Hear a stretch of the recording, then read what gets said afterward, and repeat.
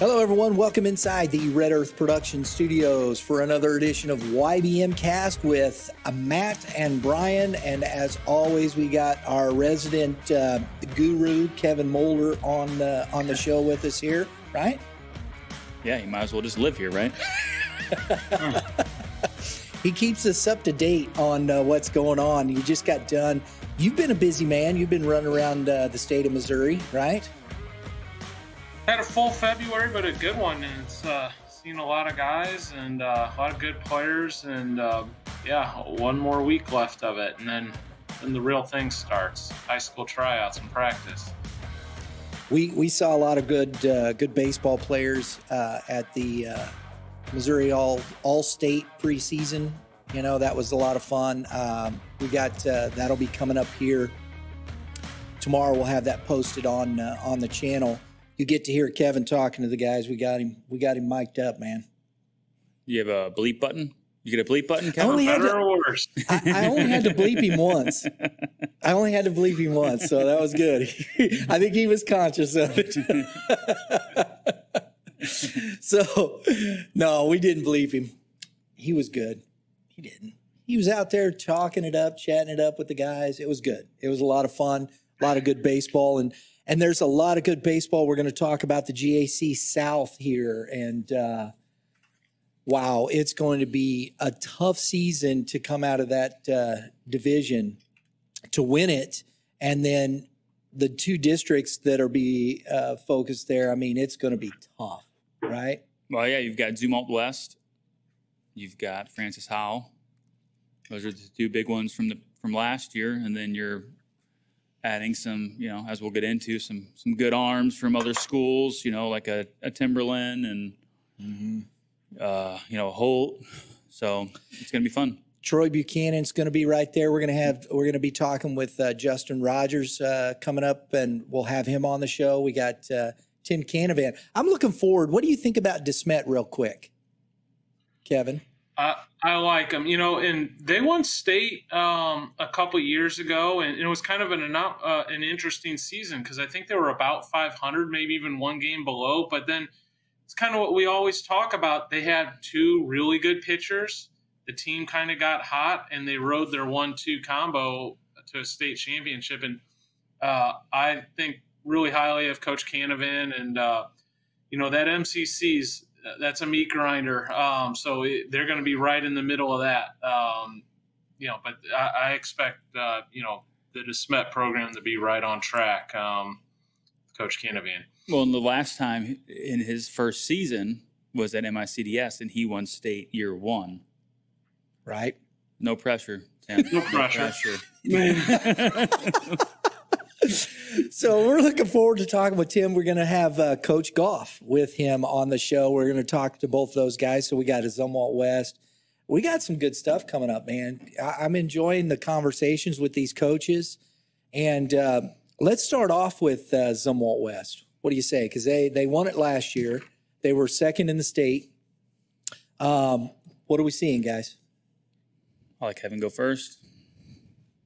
Well, what you're seeing, and you see this in college baseball and high school baseball, I believe they had seven senior starters last year. So they were a veteran team um, last year and a fun team to watch. All, a lot of energy. Um, you knew when they were at the park, they were going to let you know, um, and a lot of good players.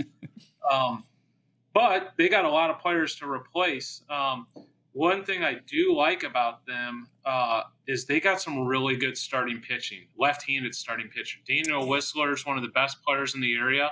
He's a two-way talent, uh, committed to Mizzou, lefty that can get up to 90, uh, and is also their starting center fielder. And you know, I'm they're going to rely heavily on him on the mound, but they're going to need him to be a, a major player offensively because um, they lost a lot of punch from last year.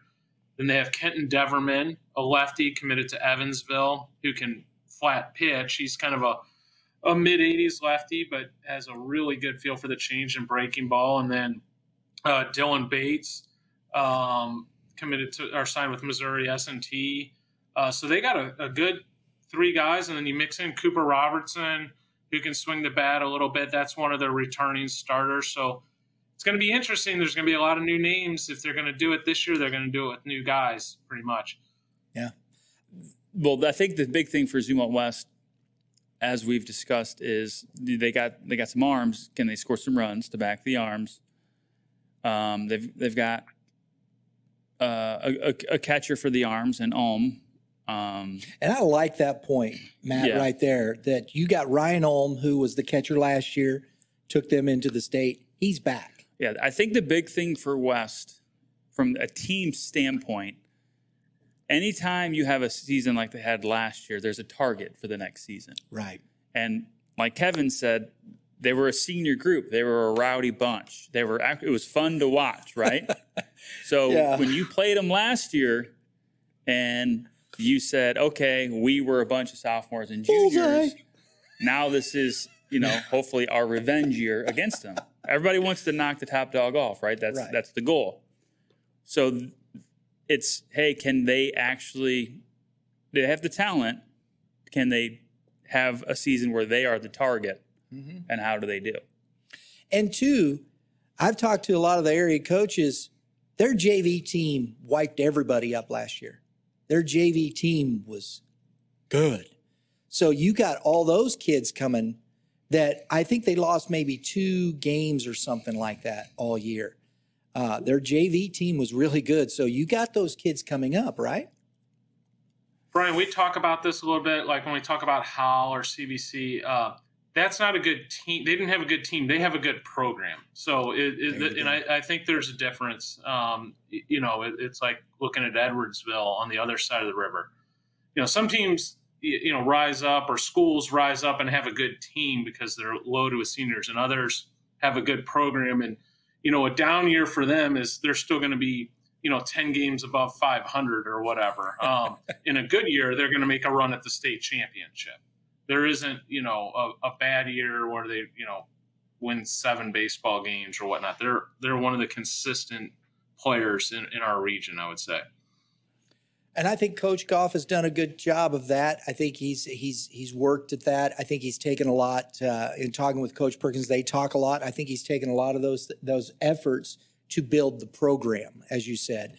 And he's a good guy. I like talking with Coach Goff, and I think it's going to be I I don't think you count out Zumwalt West. You can't. Oh, I don't think you count them out any season. No, no. Um, I think as Kevin said, but I, I think their games are going to be extra fun to watch this year. Yeah. yeah. So no coach will admit it. but no. From a coaching standpoint, and Kevin knows this too, because the coaches return, mm-hmm. and then the younger ones that were there return. The seniors are gone. So can can they? I mean, there people are going to try to punch them in the teeth, and it's like you know they're going to take some hits, and I'm sure they're going to hit back. So I think those games are going to be real exciting. Let's go to let's go to Francis Howell. Let's go to. I agree. let's go to Francis Howell. Uh, Coach Perkins is uh, you know returning a lot of kids. Um, senior Jake McCutcheon uh, is there to lead that team. Um, most state commit but this is really about a lot of underclassmen, isn't it? Go ahead, Kevin. Y- yes, um, they they have an extremely talented roster. Um, I would say it's a young roster, and I think we talked about this last time. Uh, I think they probably have the biggest X factor in this state. Um, Brett Norfleet is an elite talent. Um, he's committed to play football and baseball at Mizzou um, you know, six seven, right-handed pitcher. Also can swing the bat a little bit. Has some big time power as you might expect from a uh, a tight end recruit.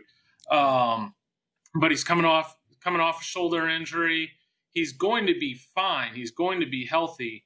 It's just we don't know when. So if he's hundred percent opening day, or you know by April, then that's going to be a huge boost for Howell If he's you know, still working his way back into it, and it, you know, he's not all the way back till June or July, then you know that's a, a frontline arm. That's one of the best arms in the state right there. So um, that's an X factor. Um, they have a, a, a Mizzou recruit, uh, Titus Sissel, who started for him as a freshman, that I expect to take another step forward this year. They have one of the best freshmen in the area, uh, a kid named Leo Humbert, that's a center fielder slash left-handed pitcher. Um, they have a transfer uh, from CBC that did a nice job for them. Bryson Naputi, who's a uh, a junior that we're waiting on eligibility to find out about, uh, and then obviously they're led by their senior shortstop Jake McCutcheon. So they, there's plenty of talent there, and you know, Coach Perkins always it's one of those programs. It's not a team. Uh, they they always have a good program, and I'm sure they'll be right in the mix again this year. Yeah, they, they do. They've got.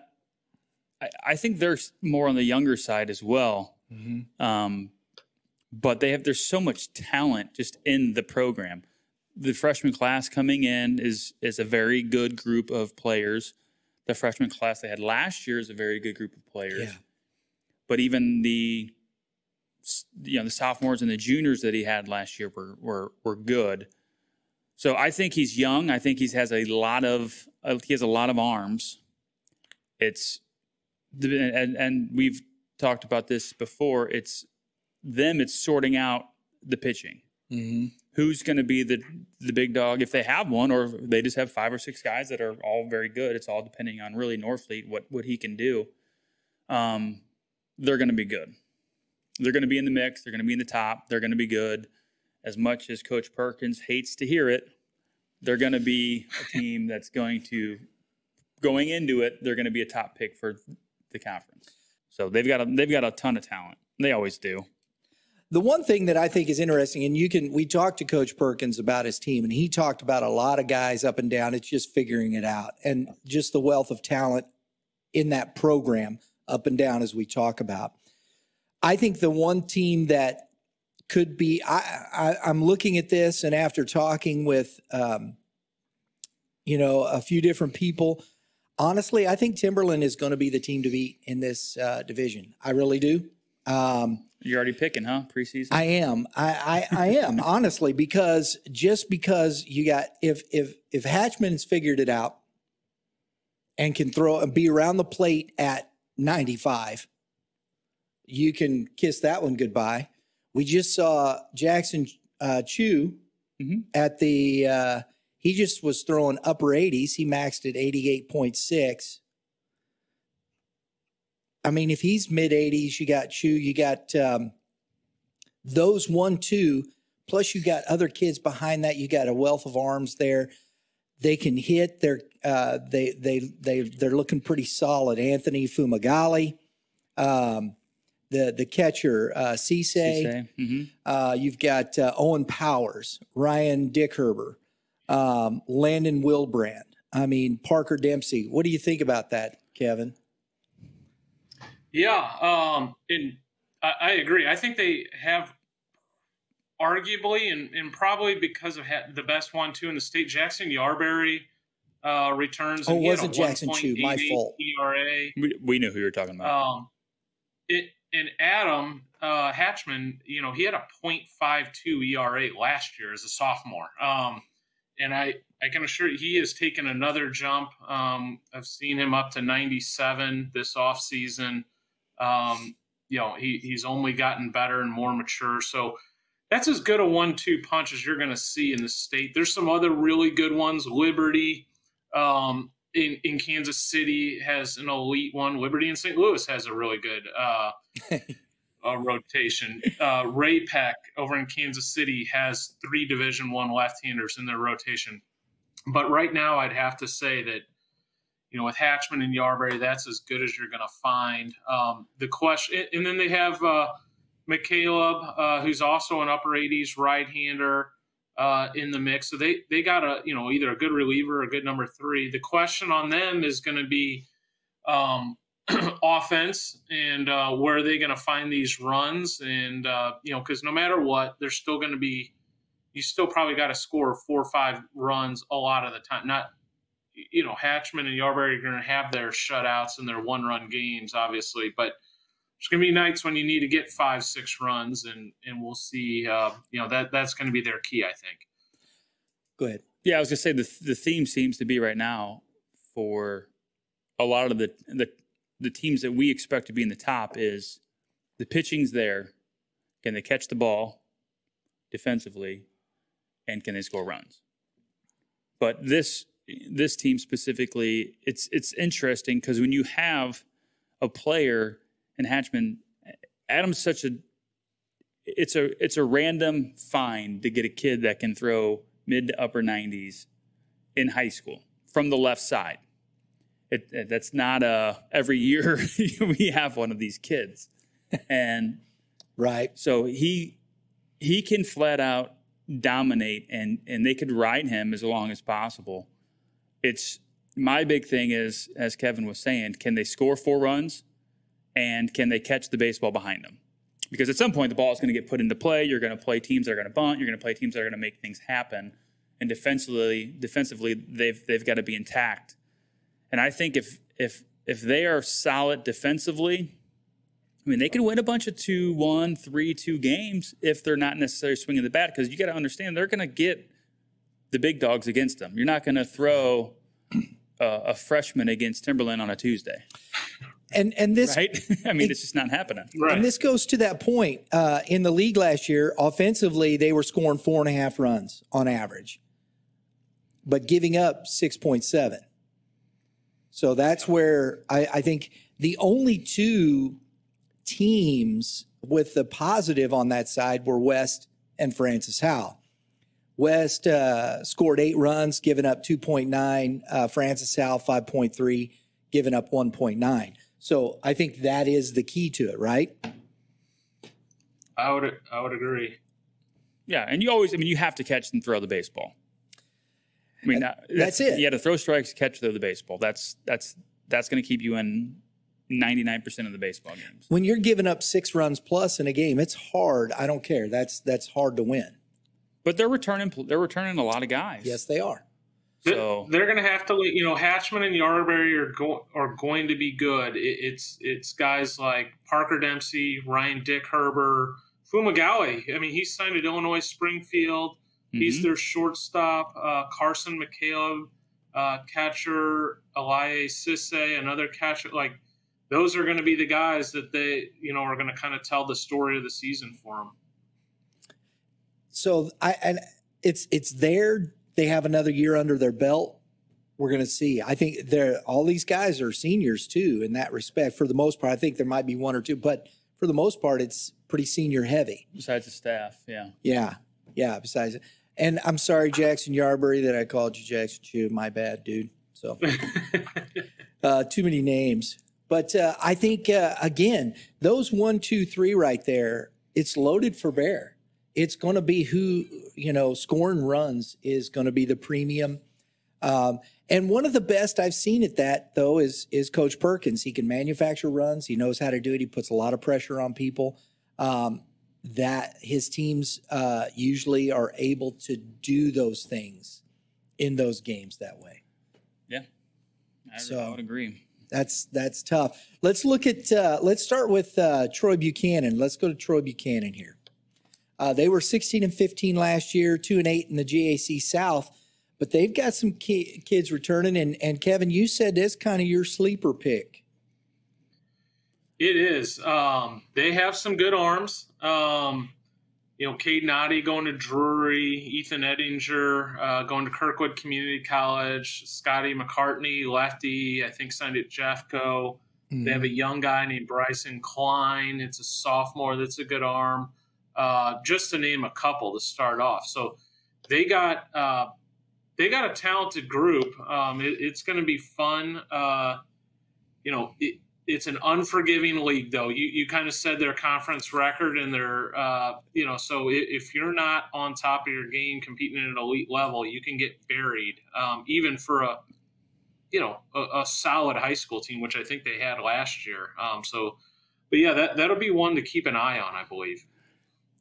What do you I would think, say I would say they're kind of under the radar because they didn't do great last year. They have a lot of talent, but they're under the radar because they don't have the the big name guy, right? They don't have the Hatchmans, they don't have the the McCutcheon, the Norfleet. Um, they've got a lot of really good players. They just don't have the star. At least I don't think they have that one star. Now I may Yeah. You know get grilled for this, but Well, But Let- look at, but I mean, No, I- I honestly, think but right. a lot of the teams that do really well are senior heavy that are just they're a team. Yeah. But it's really hard to go into a a game and match up against an Adam Hatchman. Right. But if you if but if you're a team and you're playing well, I mean it's baseball, man. Anybody can beat anybody. But I I think as Kevin was saying, I, th- I think they're kind of an under the radar team that can sneak up on people because before the season's over, they could be say seven and three in conference. Like, yeah. you know, just because they played well as a group.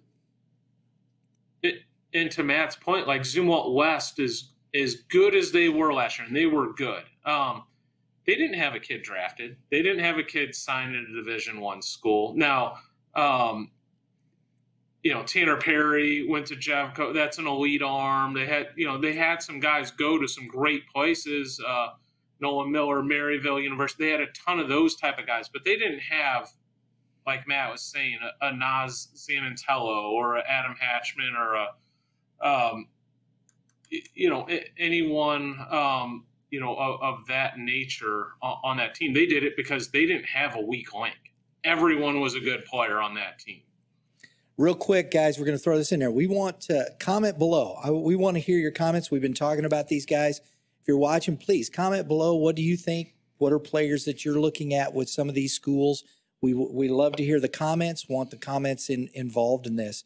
Let me throw a couple names out here to you guys because this is uh, this was a sophomore last year, Ryan McDonald.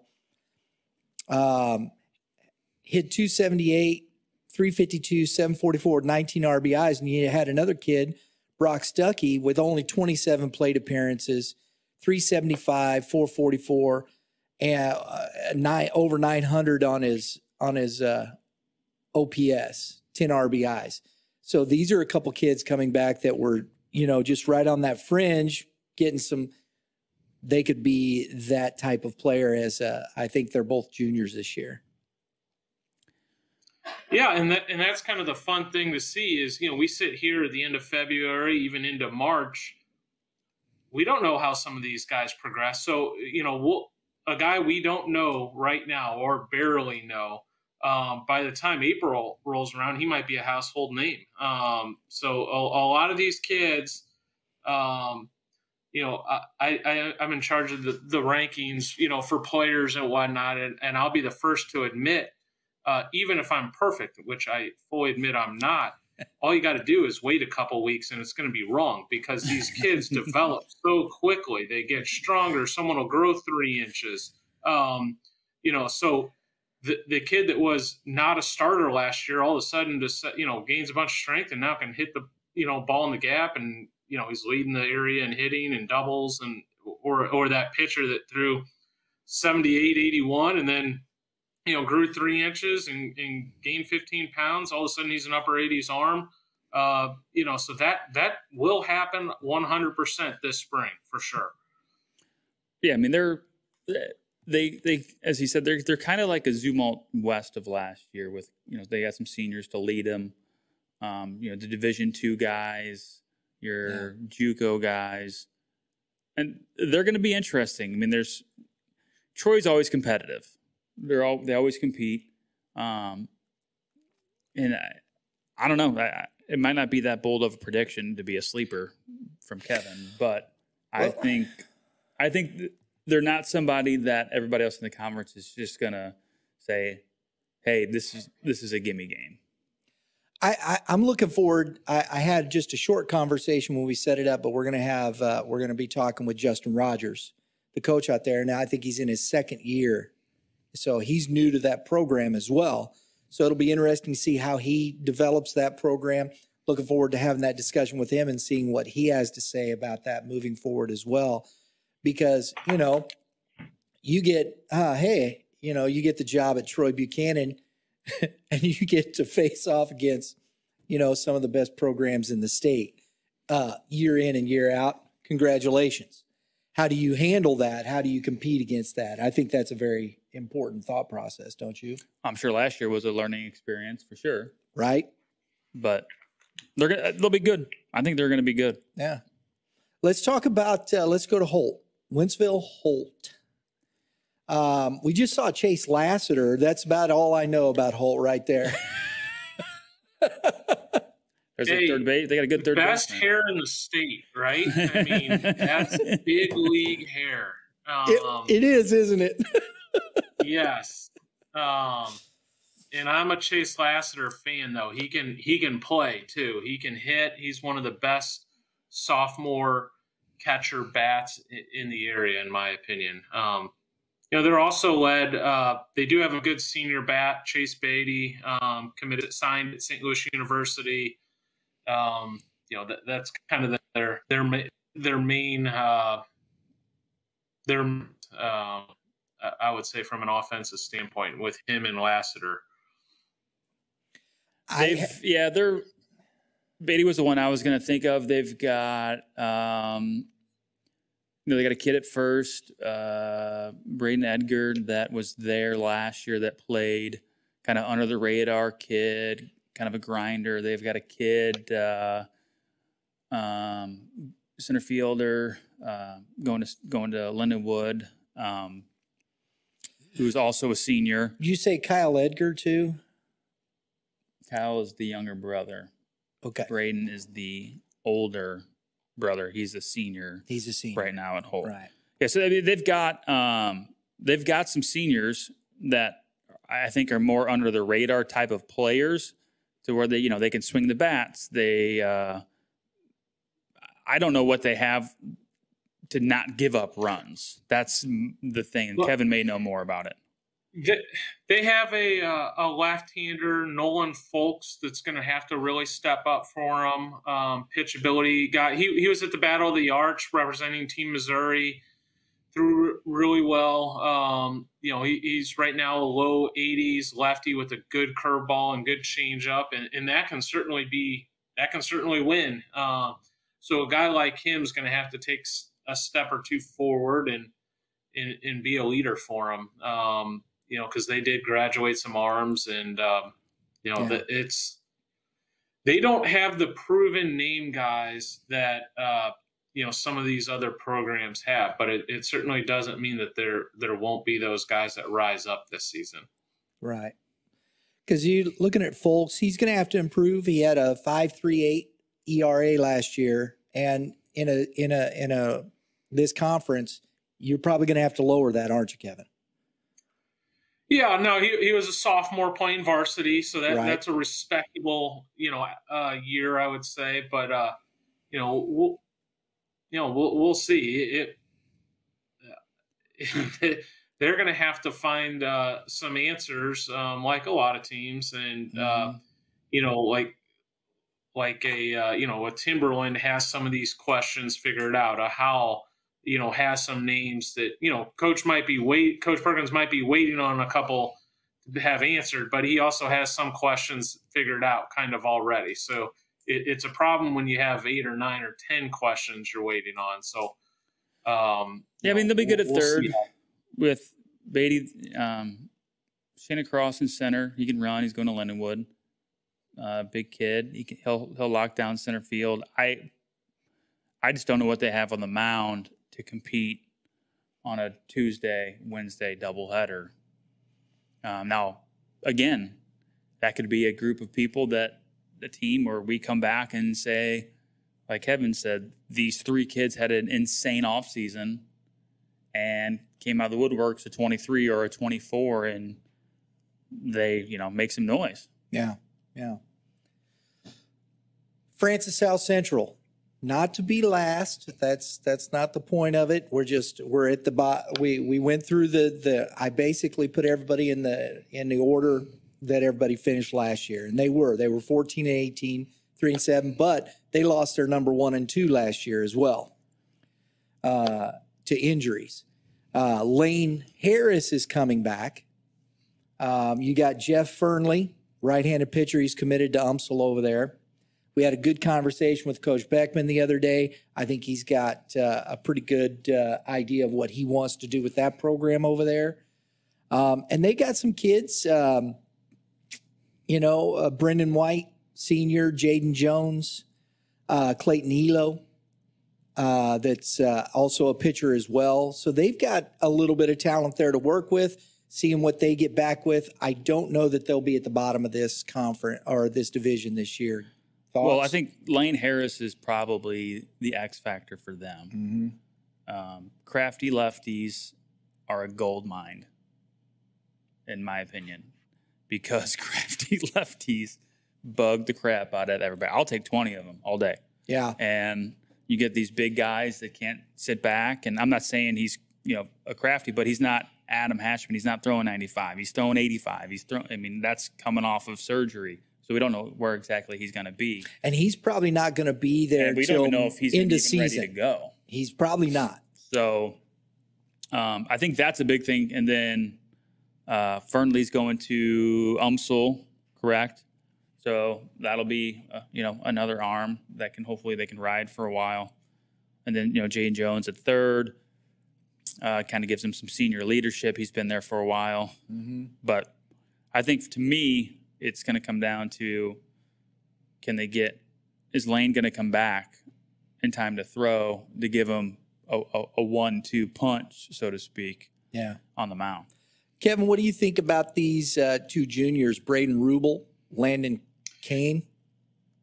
Yeah, I, I saw Braden uh, the other day. Actually, I like him. Um, there's one, a guy that's probably taken a step forward from last year. Uh, you know, a mid 80s lefty now that I'm guessing wasn't a mid 80s lefty last year. Has a really good feel for the secondary stuff. Uh, he's a guy that they're going to need to have blossom uh, this year, and I'm guessing they're going to count on him heavily. Um, you know, a, another another team with some unproven guys that uh, need more guys to step up, and with Lane, you know, not having him, uh, th- that's a setback because he's he's one of the top lefties in the state as well when healthy, and you know has a big time breaking ball. Um, I will say this: they have one of the best athletic directors in the in the state, so they have that going for them. Shout out there, Mr. Harris. I appreciate Scott Harris. He's been really good. He's been fun. Uh, appreciate him with helping with uh, Youth Baseball Midwest, and we're looking forward to, you know, uh, he's been very instrumental in helping us with the GAC Game of the Week. He's a good dude. I like Scott. Hopefully, he can hit and pitch a little. You know, though the thing, and that's what uh, when we talk with Coach Beckman, he they believe they don't know. You know, you never know, but they believe they're they should they're going to maybe get Harris back towards the end of the season, which could put you in a position if you've got him. You know, if he's healthy, What could make a run. And I'll say this: um, just going through these teams and, and schools and whatnot, these guys are loaded with really good coaches too. Um, Coach Beckman does a really good job um, with the guys, and so that you know. It, you just go around program to program. We are fortunate um, in, in the area. We're blessed with a lot of good coaches that care, and and you know, I think for the most part, try to do what's right by the kids and and focus on development and and so and and Howell Central is, certainly falls into that category. Yeah, I would agree with you. I think the big thing is they care.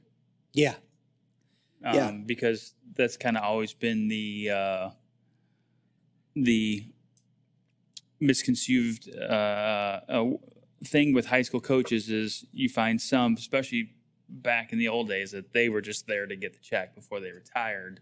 It's not like that anymore, especially JC. I mean, you got a lot of guys that actually care, are trying to build programs, and instead of just saying, "Hey, I have a team, I have programs," and it's probably why the GAC is where it's at now.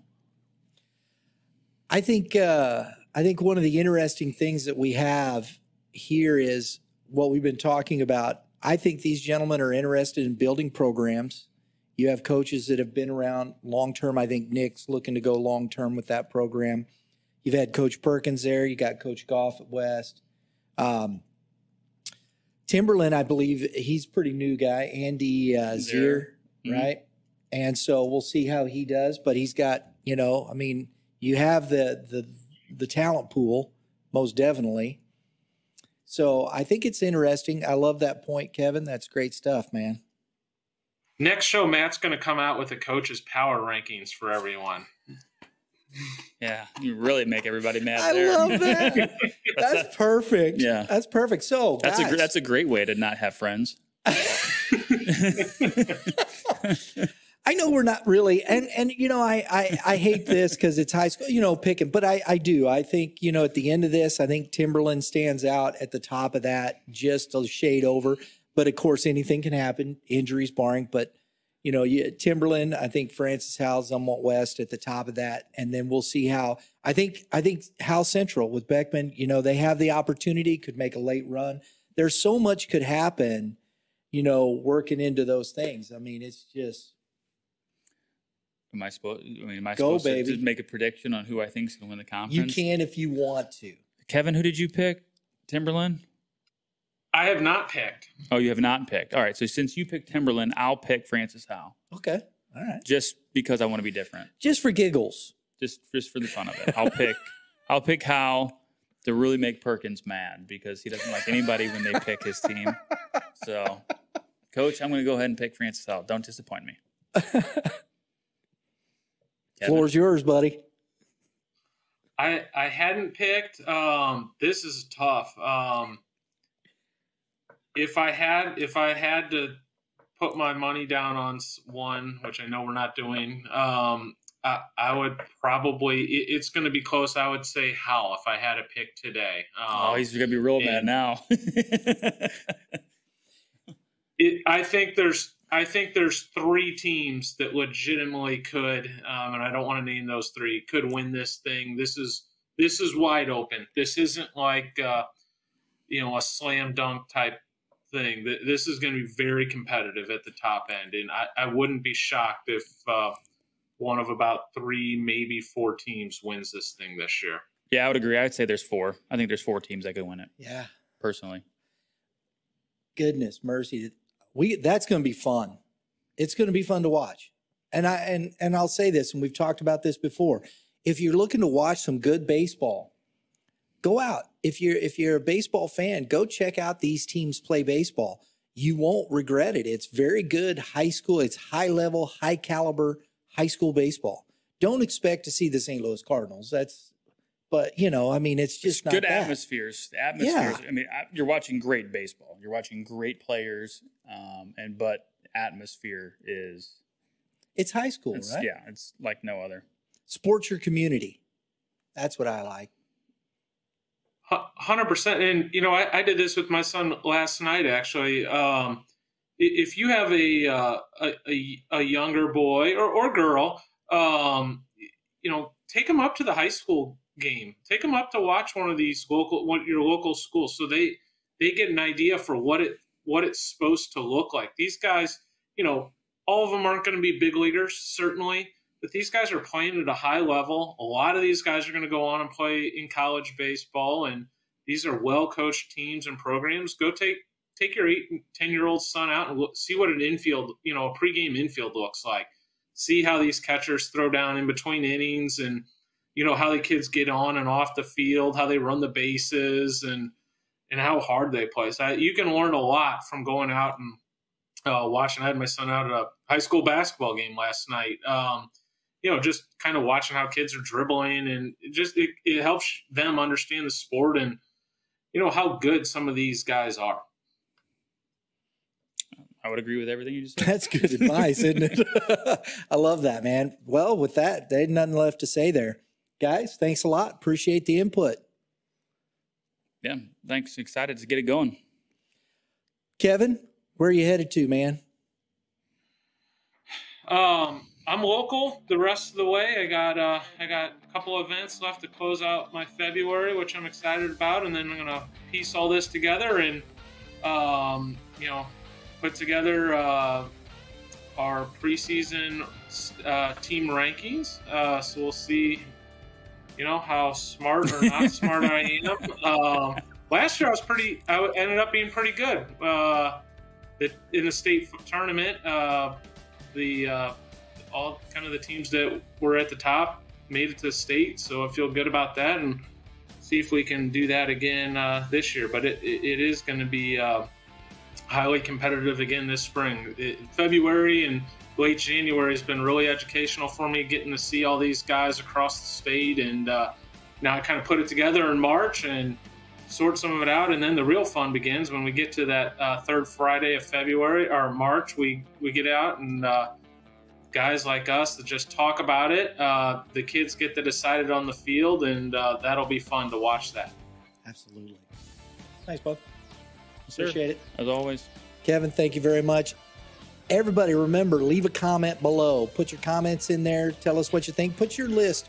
Who's your pick? If you're a homer, that's okay. Put it in there. We love that stuff. Tell us what you think about the upcoming season. That's what it's this is about. We love the conversation. Everybody, have a great day in the Lord. All you pitchers, keep throwing strikes, and you hitters, Hit them where they ain't. and that's good advice. And we will see you next time.